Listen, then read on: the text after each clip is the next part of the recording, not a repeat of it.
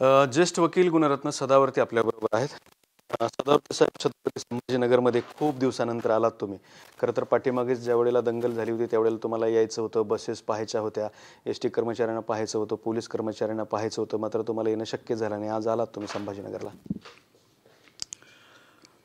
ह्या शहराशी माझं जुनं नातं आहे. नागसेन वनाचं माझ्या श्वासामध्ये एक शक्ती बिंबलेली आहे. आणि विद्यापीठ मी वैचारिक बाळकडू घेतलेलं आहे. आणि जयभीमनगर घाटीमधून जे मी सामाजिक शिक्षण शिकलं ते मला असं वाटतं की माझ्या जीवनाला फलदायी ठरण्यासाठी चळवळी त्या माझ्या जीवनाला म्हणजे सर्वंकष सर्व अर्थाने विकसित करण्यासाठी म्हणून मला वारंवार यावं असं वाटतं आहे परंतु बऱ्याच वेळेस म्हणजे कार्यप्रणाली कामाचा व्याप आणि जेव्हा केव्हा चान्स मिळतो जसं की आज डॉक्टर जयश्री पाटलांची एक मोठी केस आहे पी डब्ल्यू डीशी संबंधित तर मग हा चान्स मिळाला आणि मी आज त्यांच्यासोबत छत्रपती संभाजीनगरात आलो.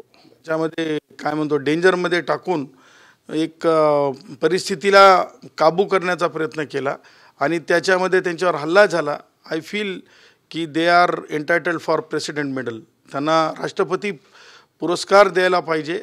असं माझं मत आहे. कारण पोलिसांचं मनोधैर्य त्या हल्ल्याच्या त्यांच्यावर झालेल्या हल्ल्यानंतर पोलिसांवर झालेल्या हल्ल्यानंतर ते खूप म्हणजे रसातळाला गेलेलं आहे.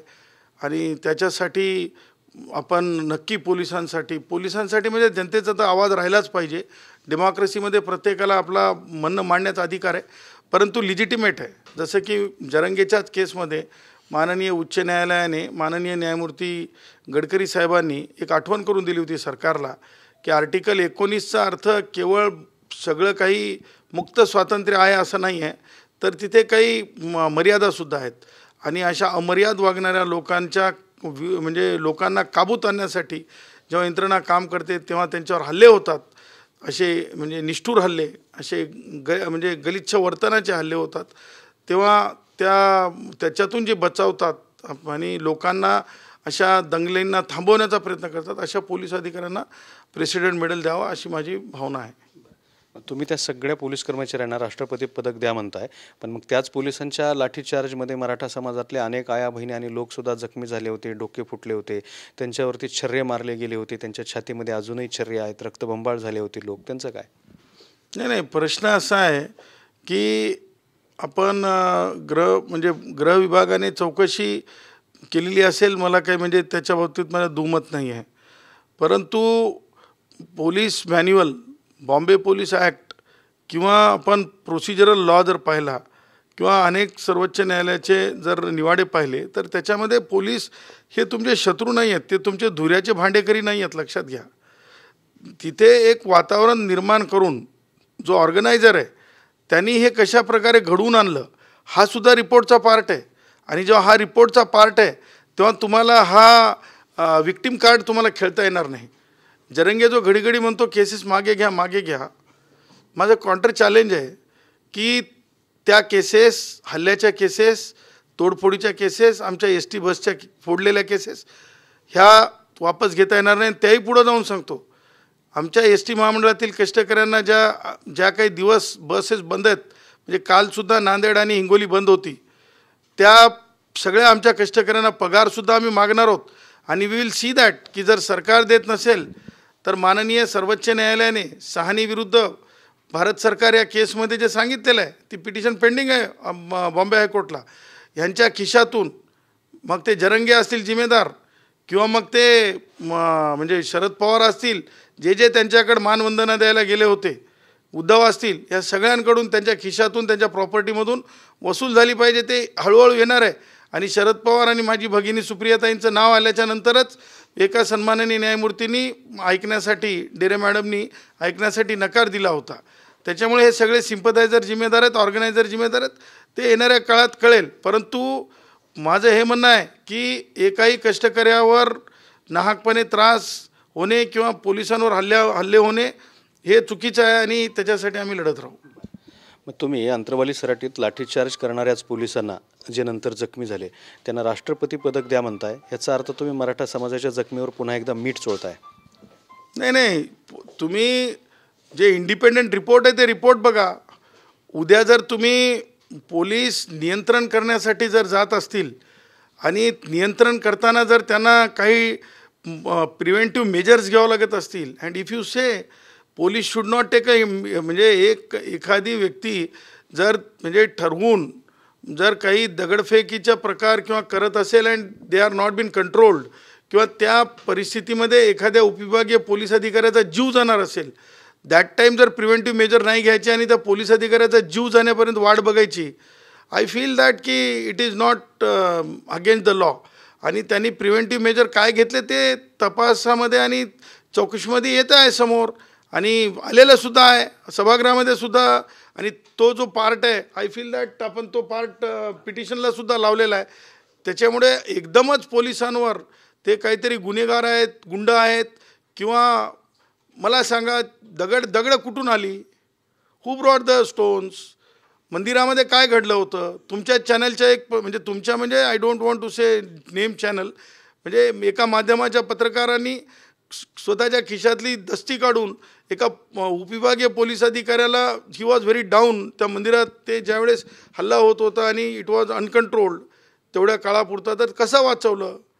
ही दीज आर द थिंग्स हे तुम्ही जातीसोबत यू कांट से की जखमेसोबत. अरे जखमा तर ते आहे ना की जे म्हणजे सुरक्षेसाठी जी काम करतात त्यांच्यावर आपण म्हणजे अलिगेशन आपल्या राजकीय स्वार्थासाठी करणे आणि सामान्य माणसाला आय फील की ज्यांना जखमा झाल्या त्यांची मला सहानुभूती आहे. परंतु त्या ऑर्गनायझरनी ज्यांनी चुकीच्या पद्धतीने ल- ही रिस्पॉन्सिबल म्हणजे त्या जखमा झाल्यानं अंतरवालीमध्ये ते जे माझे भाऊ बहीण आहेत त्यांच्या जखमांच्या जखमांच्या बाबतीमध्ये आय हॅव सिंपती परंतु त्या जखमा करण्यासाठी पोलीस जिम्मेदार नाही आहेत.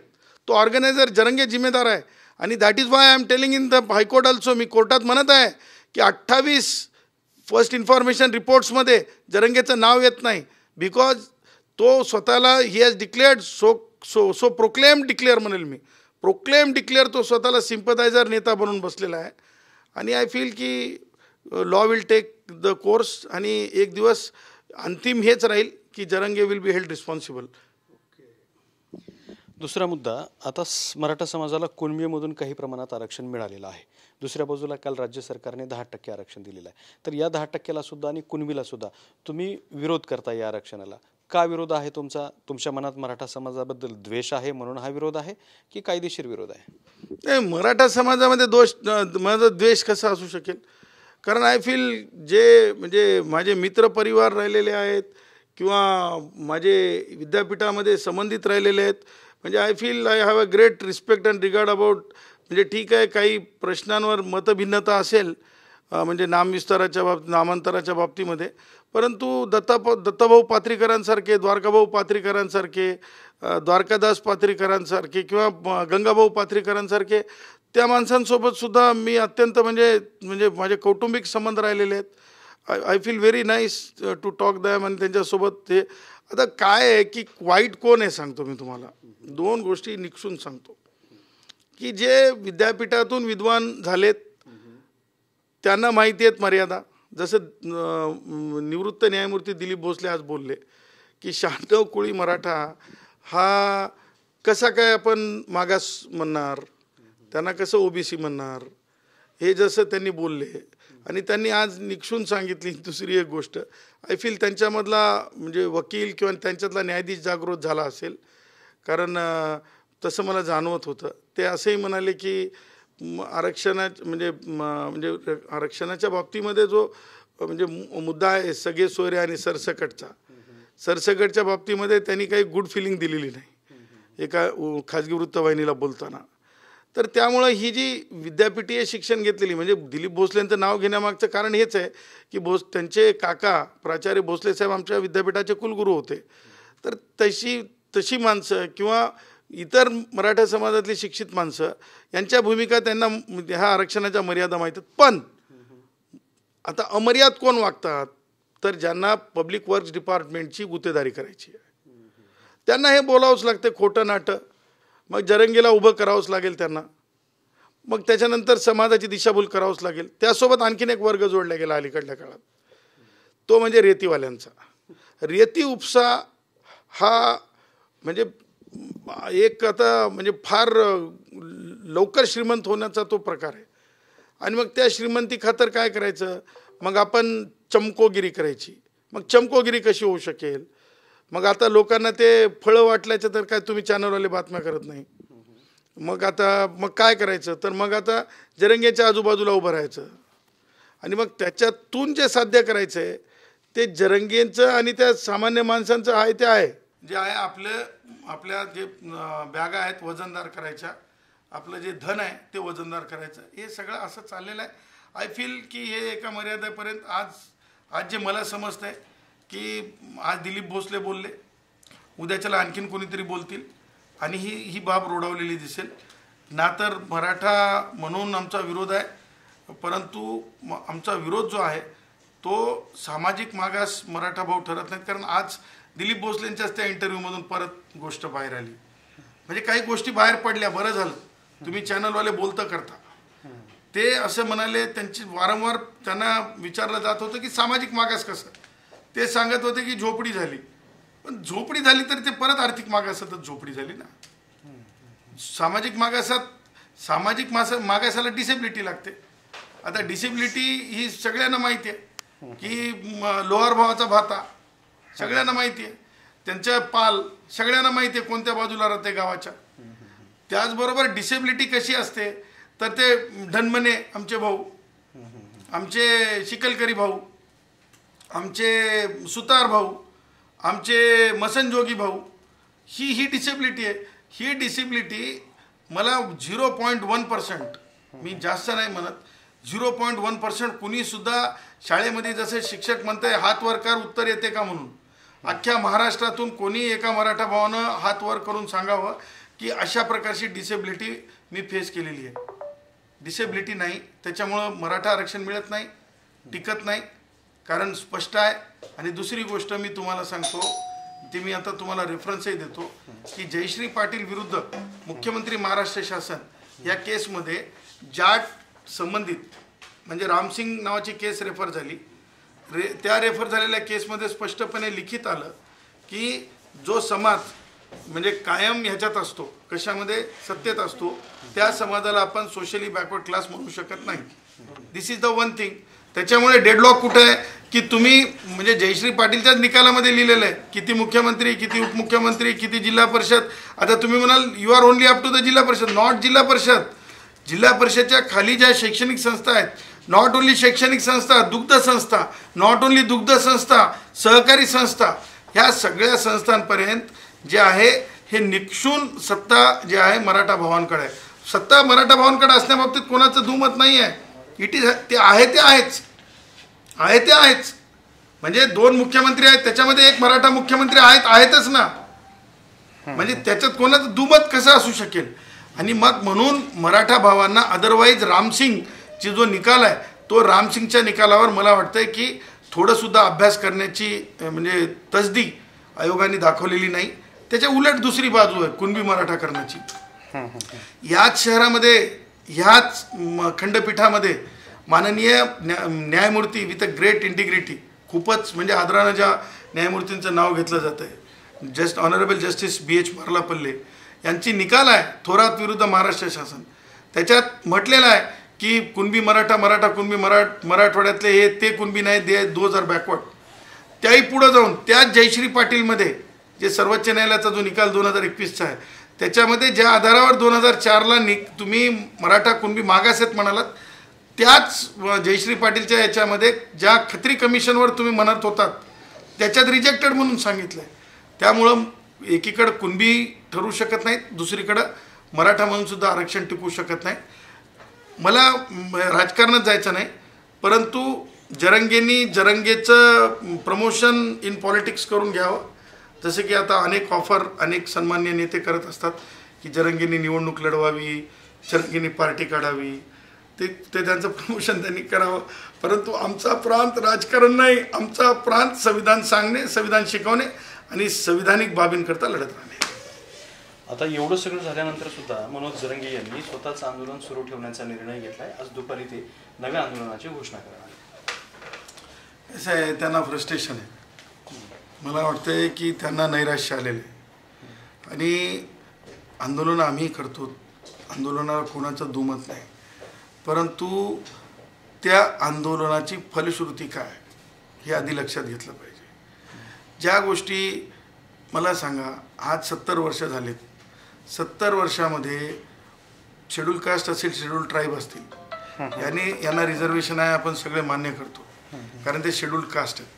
परंतु शेड्यूल कास्टनी कधी असं म्हटलं का की आम्हाला स्पेस सायन्समध्ये रिझर्वेशन द्या. नाही म्हटलं. कारण सगळ्यांना माहिती आहे की सर्व अंकश सगळ्यांमधून गुणवंत कुठं गेला पाहिजे तर स्पेस सायन्समधून गेला पाहिजे. तर हे ह्या तत्वासोबत आरक्षण आहे. आणि जर आपण सरकारचे रिपोर्ट्स पाहिले स्वतःचेच. स्वतःचेच रिपोर्ट्स आमचे आमचे रिपोर्ट्स नाहीत. तुम्हाला राजकीय रिपोर्टच नाही. तर मी तुम्हाला इकॉनॉमिकल बॅकवर्डनेस दूर करण्यासाठीचे रिपोर्ट दाखवतो. म्हणजे ज्या ज्या संस्था काढल्या सारथी वगैरे काय ते त्या संस्था बघा तुम्ही. त्याबरोबर त्याचबरोबर त्यांना किती पैसे देण्यात आले? त्यानंतर आय एस अधिकारी किती आहेत? आय पी एस अधिकारी किती आहेत? शिक्षक किती आहेत? हे तर बदलू शकत नाहीत आकडे तुम्ही. तुमचे एक्झिक्युटिव्ह ऑफिसर्स किती आहेत? हे बदलू शकत नाहीत तुम्ही. त्यामुळं जरंगेची एखादी मागणी कोणती असायला पाहिजेत होती? किंवा नापिकीला तुम्ही काहीतरी मूल्य द्या. तुम्ही म्हणजे काय म्हणतो त्याला जो रोजंदार आहे त्या रोजंदार तुम्ही नापिकीमध्ये नापीक झालेल्या लोकांनाचा विचार करता म्हणजे- तुम्ही शेतकऱ्यांना. हो. मराठा समाजाने ही आरक्षणाची लढाई सोडून दिली पाहिजे काही उपयोग नाही त्याचा? नाही सोडलीच पाहिजे. डेमोक्रेसीमध्ये मागण्याचा अधिकार आहे पण दिलंच पाहिजे असं म्हणण्याचा अधिकार नाही. आणि म्हणून तुम्हाला सांगतो मराठा भाऊ जे सुशिक्षित आहेत तुम्हाला सांगतो. तुम्ही पत्रकार आहेत तुम्ही मराठवाडा पूर्ण तुम सगळेजण म्हणजे जेमतेम कुटुंबातून येतात म्हणजे आर्थिकदृष्ट्या. याचा अर्थ सामाजिक मागास नाही आहेत तुम्ही. परंतु मला हे म्हणायचं की असे कोणी पाच मला लोक दाखवा की त्यांनी मला सांगावं की मी सोशल डिसेबिलिटी फेस केली.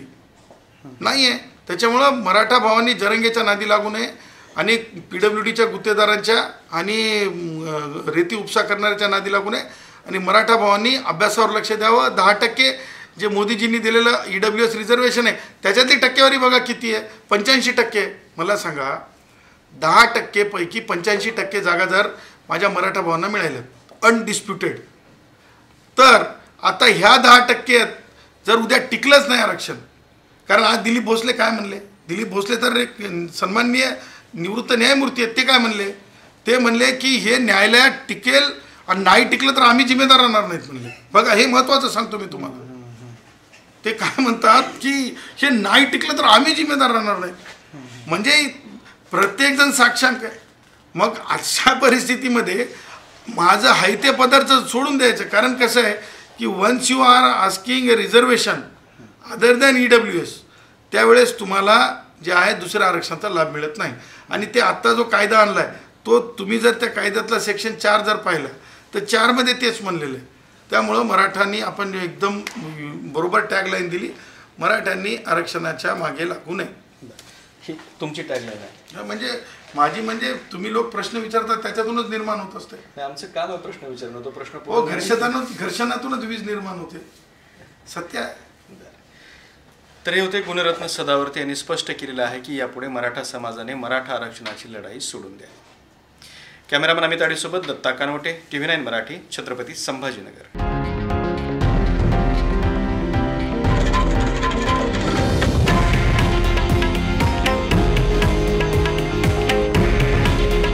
हे आहे देशातील नंबर वन न्यूज नेटवर्क. आणि आपण पाहत आहात टी व्ही नाईन मराठी. काळजी तुमची हित महाराष्ट्राचं.